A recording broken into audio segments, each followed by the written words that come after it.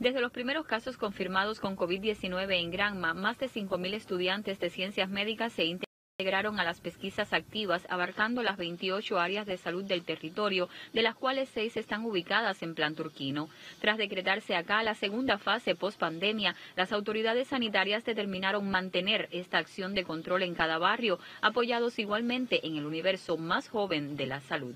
Al aumentar la movilidad en la provincia, corremos el riesgo de que eh, cualquier persona asintomática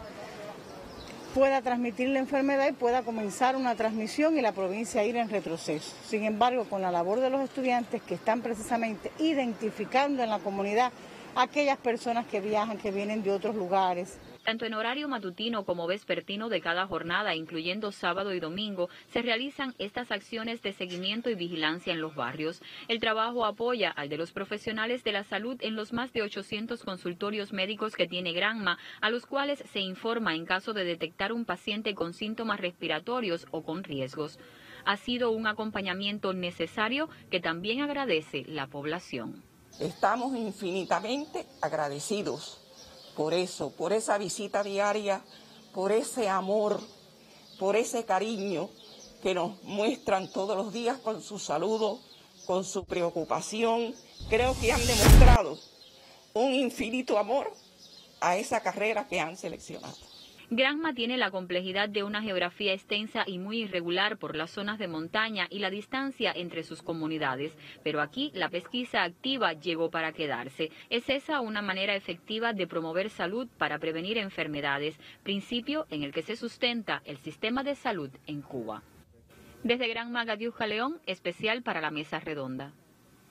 Bueno, vamos hasta Granma, el telecentro de esa provincia, donde tantas veces hemos compartido con las autoridades del territorio en los últimos años para conversar con el gobernador de esa provincia, el compañero Francisco Escribano Cruz, uno de los nuevos gobernadores, todos son nuevos como gobernadores porque no existía antes, pero bueno, como autoridad máxima de gobierno en la provincia es uno de los que asumió eh, en enero eh, la elección y después asumió como gobernador y prácticamente ha tenido que enfrentar la pandemia de la COVID-19 como una de sus primeras y principales, por supuesto, tareas de gobierno. Me gustaría, gobernador, que usted nos hablara cuál ha sido el secreto de Granma para hacer la provincia con menos pacientes positivos en el país, cómo se estructuró el trabajo en el territorio y cómo le han entrado a esta etapa de recuperación ya en su segunda fase.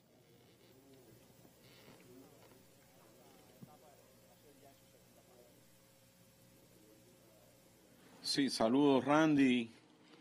a ti muy afectuosamente como siempre, saludo a nuestros televidentes y radio oyentes. Yo creo que sí, eh, un secreto, la COVID nos impuso retos y nos puso una dinámica diferente de trabajo en circunstancias muy complejas.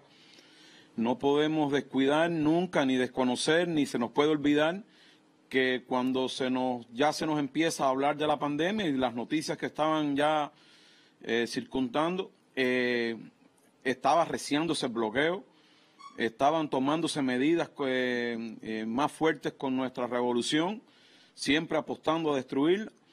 Yo creo que la alerta oportuna de la dirección de la revolución, yo creo que ese magisterio indelegable de sabiduría, de precisión, de olfato, pudiera decir, de la dirección de la revolución, que nos sentara, que nos ubicara, que nos pusiera rápido de mano de, lo que estaba ocurriendo, de lo que estaba pasando y de lo que nos podía ocurrir si no nos organizábamos, si no actuábamos con rapidez, con precisión. Yo creo que eso fue un elemento importante. Los granmenses con la motivación que traíamos de la celebración de los 150 aniversarios de la guerra de independencia, veníamos de un 26 de julio ganado por el pueblo, muy merecido. Asumimos la responsabilidad con ese mismo entusiasmo y desde el primer día que el país nos organizara, nos sentara y nos atemperara la situación concreta a la que nos podíamos enfrentar bajo la conducción del presidente del Consejo de Defensa, se organizó el mismo. Se ha trabajado desde ese mismo día hasta hoy sin dejar un día en el medio, haciendo las principales celebraciones sábado, domingo, desde el Consejo de Defensa. Yo creo que lo más importante ha sido el haber trabajado con mucha sistematicidad, yo creo que ha sido muy importante no habernos confiado. Yo creo que ha sido muy importante y por encima de todo cómo se organizaron también las estructuras municipales, cómo nosotros logramos que los presidentes de consejos populares, los delegados de circunscripción, los consejos de defensa propios municipales de cada uno de nuestros municipios, las organizaciones políticas y demás con ese mismo entusiasmo, con esa misma responsabilidad, yo dijera inclusive con ese mismo susto de lo que nos podía pasar y susto en el sentido y en el entendido de que había que trabajar con rapidez, con precisión, que no podíamos equivocarnos, que no podíamos fallar. Yo creo que haber asumido con disciplina, con humildad y con responsabilidad las indicaciones que el país nos estaba dando, las informaciones que se hacían públicas a la palestra y por supuesto a nuestra provincia, eso para nosotros fue un elemento cardinal importante, cómo se nucleaba bien, cómo se organizaba bien, qué importancia teníamos que darle a las reuniones del Consejo de Defensa, revisando todos los días los problemas, los elementos más importantes, las medidas que había que aplicar, monitoreando cómo se hacía, y yo creo que ahí eh, fue uno de los primeros elementos más importantes. Todo no sale como uno quiere, todo no es color de rosa, pero yo puedo asegurarte que en esta etapa de trabajo, la comunicación, el diálogo con el pueblo fue para nosotros muy importante, fue cardinal fue un elemento clave. Eh, recuperamos los programas que teníamos de televisión, los programas de radio provinciales y locales que tenemos en cada uno de los municipios y empezamos a responsabilizar al pueblo, que era el actor más importante con el que nosotros íbamos a ganar y a cumplir esta batalla. El pueblo ganó en confianza, a mi juicio, ganó en responsabilidad. Yo creo que también ver los combatientes del ejército, ver a los, eh, la Policía Nacional Revolucionaria acompañando al pueblo, cuidándolo, cuidando las colas, cuidando los elementos más importantes, más vulnerables, siguió transmitiendo confianza y el pueblo hizo suyo el reto de que esto teníamos que enfrentarlo, que enfrentarlo entre todos no había manera, enfrentarlo con responsabilidad. Yo creo que también ahí está uno de los secretos de los cuales tú nos, nos hablas, Randy. Yo creo que eh, no hubiese sido posible que la provincia hubiese salido de esta situación como lo ha hecho si no hubiera sido con el papel de los jóvenes. Los jóvenes han jugado un papel súper que importante. Lo han jugado en todas las etapas. Yo creo que lo han hecho en todos los momentos, pero en estas circunstancias propias donde necesitamos las iniciativas que nosotros le planteábamos, las tareas y las misiones y muchas más de las que se le ocurrían a ellos y las que se veían en el documental de ahorita, fue un elemento para nosotros importante. La provincia se organizó muy bien.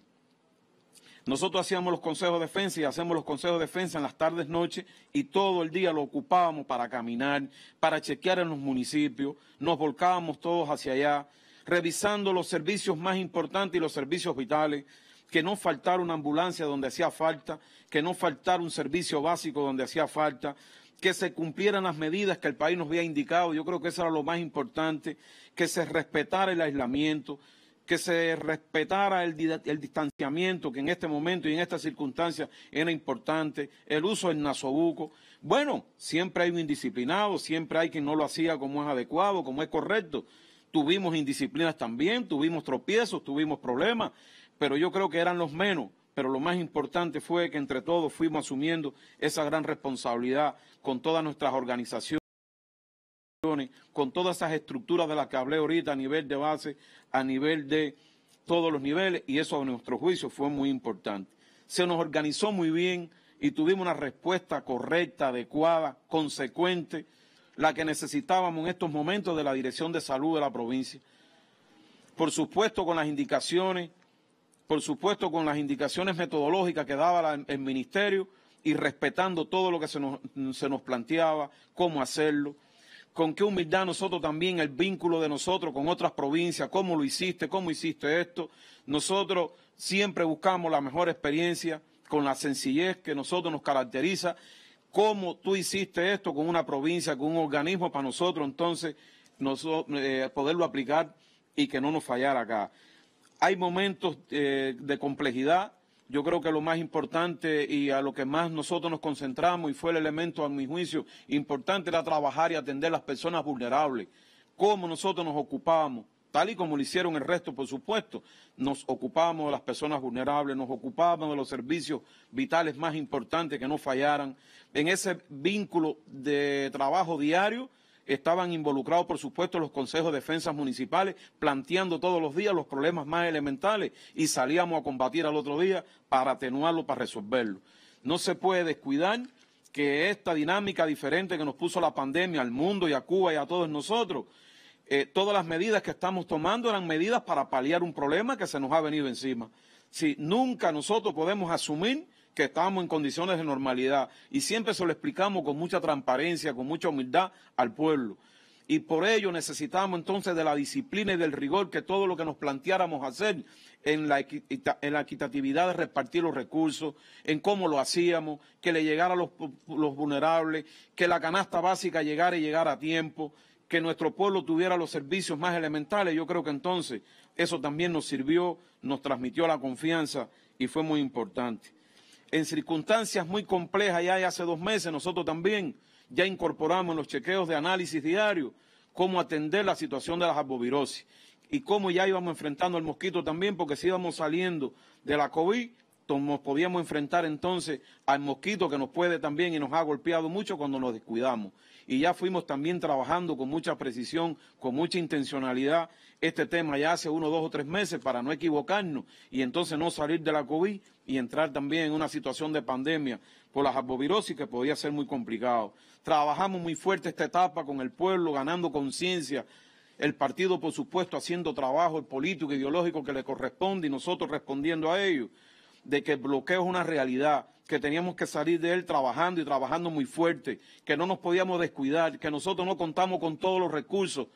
que, necesitábamos si cometíamos indisciplina, si no trabajamos con la seriedad y la responsabilidad que se nos estaba exigiendo por la dirección del país. Esto yo creo que fue uno de los, de los secretos que la provincia nos trajo el resultado, Randy, yo creo que se trabajó con mucha sistematicidad, trabajamos, todos los días nos levantamos pensando que estábamos complicados, nunca nos descuidamos, nunca nos sentimos contentos porque teníamos menos casos, muchos casos, no, lo más importante para nosotros era no tener ninguno,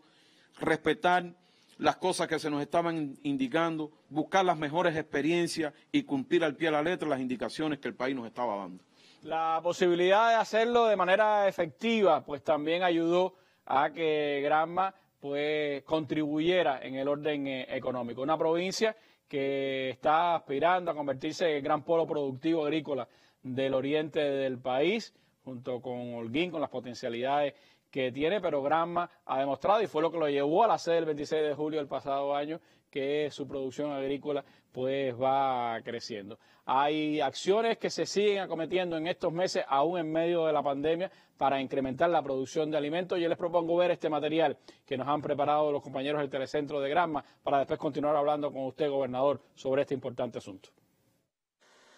Granma es una de las provincias del país con mejores condiciones para el desarrollo agrícola. Sus extensas áreas de plan turquino, su disponibilidad hidrológica y el crecimiento de la población más allá de zonas urbanas hacen que este territorio del oriente cubano tenga niveles cada vez más crecientes en la producción agroalimentaria, como había ideado Fidel Castro.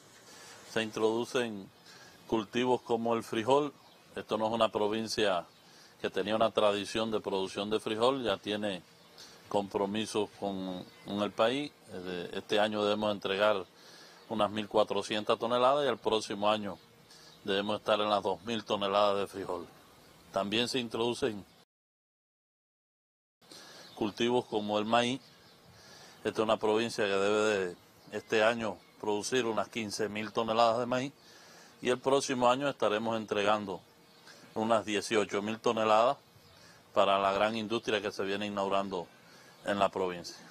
Aquí se trabaja intencionadamente en otros renglones de balance nacional. Las inversiones en el programa ganadero permiten crecimiento en la entrega de leche y carne con niveles de hasta 26 millones de litros de leche cada año y más de 8 mil toneladas de carne vacuna para beneficiar incluso a otras provincias. También se asumen alternativas para sostener el programa arrocero, enfrentando las carencias de productos químicos. La existencia de 21 centros de reproducción de entomófagos y entomopatógenos permite incrementando un arroz más orgánico y que pese a no llegar a lo planificado, Granma siga siendo la de mayor entrega del cereal en el país. También se potencia el autoabastecimiento municipal con una campaña de primavera que incluye la siembra de más de 40.000 hectáreas de cultivos varios. Además, esta es una provincia que viene introduciendo en esta campaña áreas nuevas para los cultivos varios. Hemos reordenado áreas de la ganadería, es decir, el ganado lo hemos reordenado y hemos preparado áreas que no se dedicaban a este cultivo y la estamos dedicando a los cultivos varios. Las áreas que estaban en barbecho del arroz también las hemos dedicado a los cultivos varios, sobre todo a la siembra de maíz y sorgo, principalmente. Y hemos eh, abierto nuevas áreas que estaban cubiertas de aromas y marabú y hemos dedicado eh, más de 4.000 hectáreas a, los cultivos varios, lo que indica que nosotros debemos estar cerrando una campaña por encima de las 41.800 hectáreas o entre 4 o 5.000 hectáreas nuevas que debemos estar dedicando a los cultivos varios, que es más producción para el pueblo. La producción local de alimentos se sustenta además en patios y parcelas familiares, una convocatoria a la que se ha sumado ya buena parte del pueblo para garantizar comida en tiempos de grandes limitaciones económicas para el mundo. En Gran Macatiusca León, especial para la mesa redonda. Bueno, imágenes que cuentan lo que está pasando allí en Granma, pero contatémoslo a través de la percepción del gobernador de esta provincia, el compañero escribano, que me gustaría nos hablara precisamente de ese esfuerzo que se está haciendo en la producción de alimentos en, Granma, cuáles son las prioridades en las que hoy están inmersos, cómo el pueblo granmense ha participado de esa convocatoria del partido y del gobierno.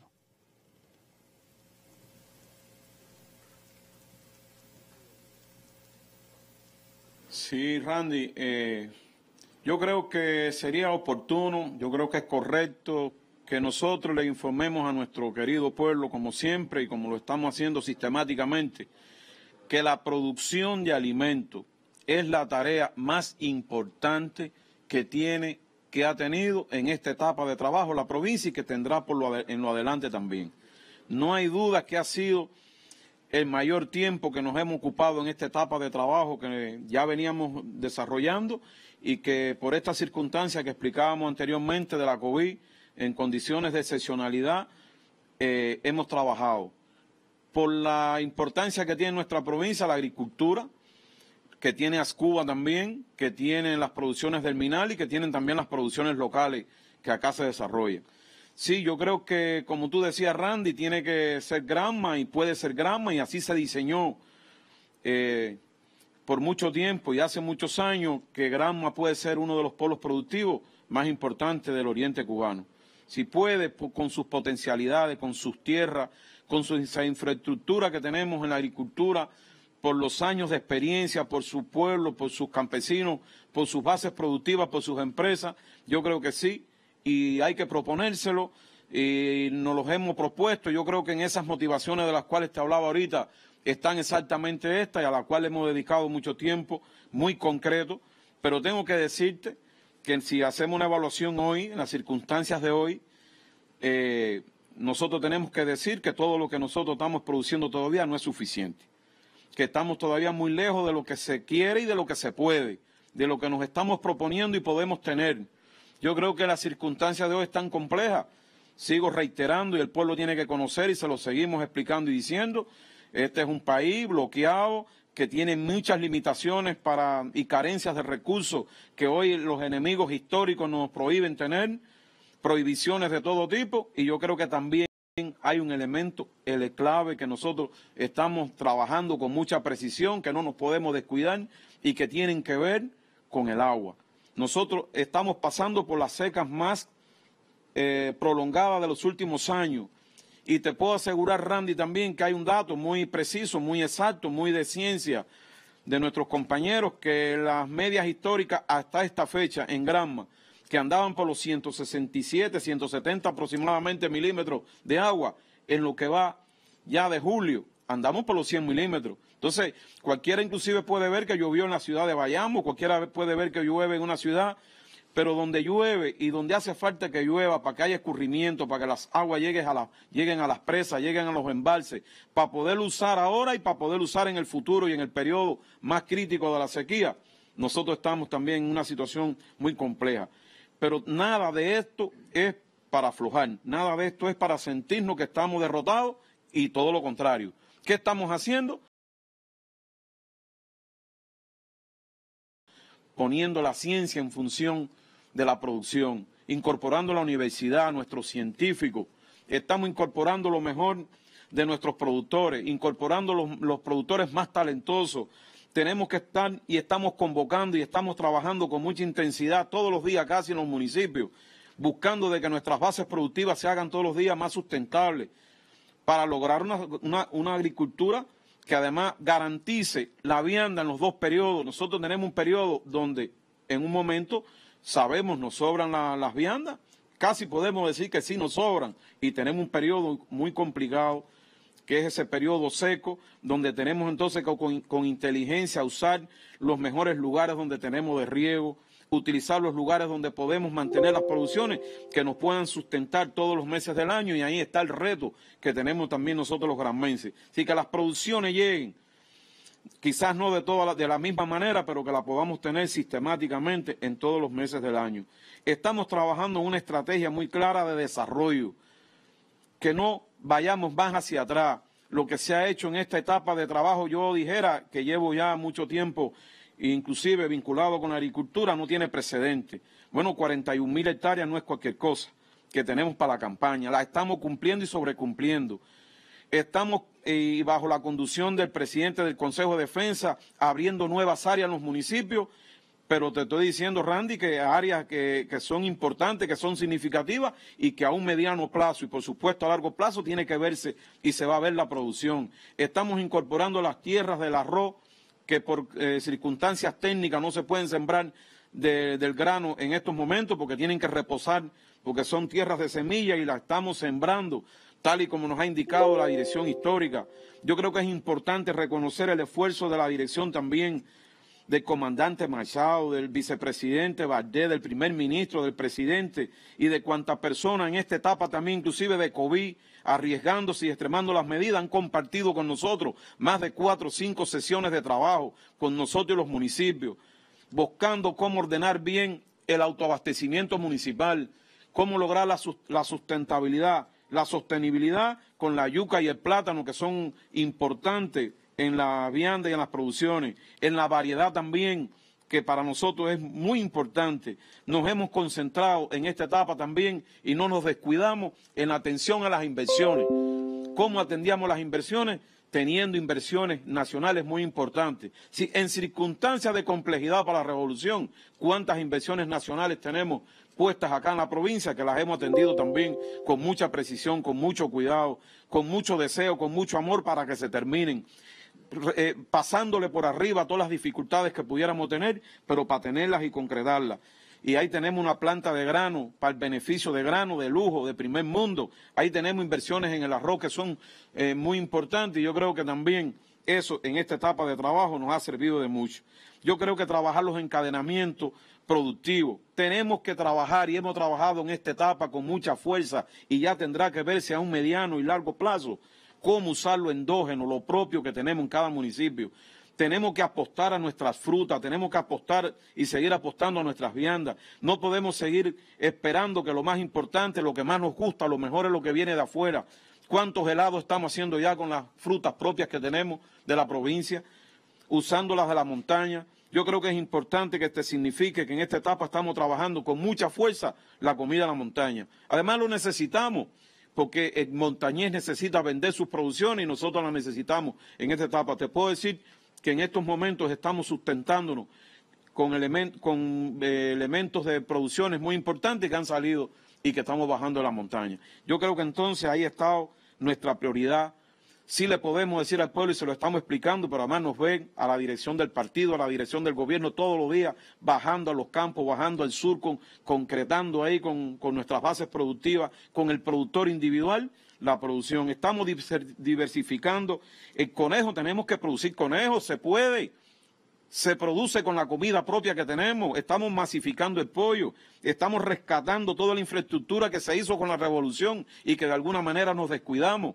y que se fueron perdiendo, que por alguna circunstancia de obsolescencia tecnológica se fueron perdiendo y en esta etapa hemos estado recuperando todas las industrias del minal, todo lo que estamos haciendo con la industria pesquera, dinamizando la pesca deportiva, nos está dando una fuente de comida importante y yo creo que eso nos ha dicho que sí podemos. Eso nos sigue demostrando que cuánta fortaleza tenemos en un municipio, que tenemos que mirar para nosotros, que no podemos seguir mirando para el barco como se nos, se nos ha dejado claro, y que sí están las potencialidades, aún y con todas estas circunstancias, aún con bloqueo, ahí con, aún cuando hay escasez de agua, que nosotros pudimos y sí podemos demostrar que sí podemos. Yo creo que con las motivaciones que también tenemos de un 26 de julio y con todas las cosas que vemos haciendo los granmenses, que sí vamos por más, podemos producir más y podemos seguir produciendo, aun cuando sabemos que en Bayamo y Manzanillo las circunstancias todavía no nos hacen posible que le estemos poniendo al pueblo lo que necesitamos y lo que queremos. Pero estamos trabajando y el pueblo sí ha entendido y entiende que esa ha sido la prioridad más importante a la cual le hemos ocupado mucho tiempo en esta etapa de trabajo. Muchísimas gracias, gobernador, por estas apreciaciones para nuestra mesa redonda y para todo el país sobre el trabajo de la provincia de Granma, también, por supuesto, escenario de los acontecimientos del 26 de julio, muy motivado en esta fecha para seguir produciendo, que es sin duda la palabra de orden hoy en el país. Enfrentamos la pandemia con éxito y tenemos que enfrentar con éxito también los efectos que la crisis económica mundial tiene sobre nuestro país y especialmente en el área de los alimentos. Gracias por toda esta información y felicidades a los granmenses por lo que hicieron durante todo este tiempo y por lo que seguirán haciendo. Siga con nosotros en la mesa redonda.